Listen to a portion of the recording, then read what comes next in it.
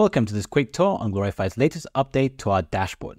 When you sign in or sign up into Glorify, the first page you'll come across is My Files within the Home section. Let's explore the key features. Under My Files, you'll find the Suggested Templates tab. Here you can quickly access any format or size that you need. Next, we have Custom Sizes.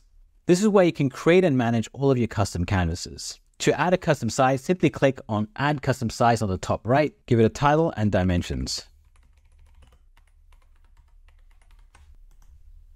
As you can see, we've successfully created our new size. You can manage all your custom sizes by accessing the option menu to rename or delete them. Moving on, you have all files, personal files, and shared with you. In all files, you'll find everything you have access to across all your projects, including personal files. Personal files are private and only accessible to you unless you invite team members or guests. You can invite any team member into your personal files by clicking the options menu and selecting share. Under shared with you, you'll find any files that have been shared with you by other team members within your workspace. This could be a private file of an existing team member or a file from a project that you have not been granted access to. Now let's explore uploads. We've organized uploads into four tabs. To filter across individual file types, simply use the tabs. For better organization of individual file types, we recommend using tags. Find them in the options menu, click add tags, choose the tag that you wish to add, and hit apply. Now to filter your files by that tag, simply go to the filter and choose the tag that you wish to apply by.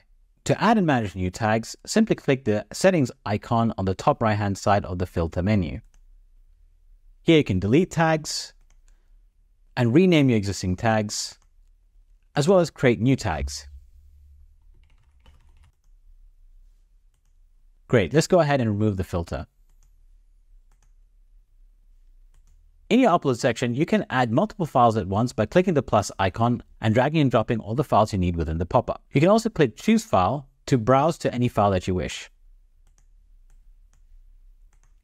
As you can see, I've uploaded multiple images at once. From here, you can directly remove the backgrounds. You can now also upload and preview video and audio files directly. Moving forwards, let's talk about projects. In the free plan, you have access to one project. Let's go ahead and create it.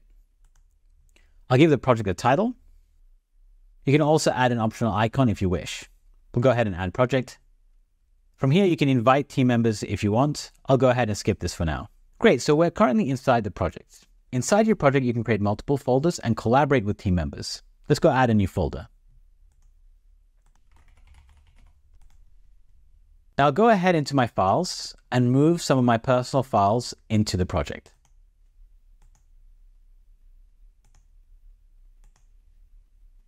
We'll choose the folder, Home. As you can see, the file successfully moved to my project folder. Each project comes with its own brand kit. This allows easy access to logos, colors, and fonts for consistent branding. Simply add any asset that you need by clicking the plus icon. And lastly, we have trash. This is where you can find all of your deleted files within a 30-day limit. In this new update, we moved the user settings to the top right. Here you can access supports, our affiliate page, and switch between dark and light mode. We also have your favorites available over here.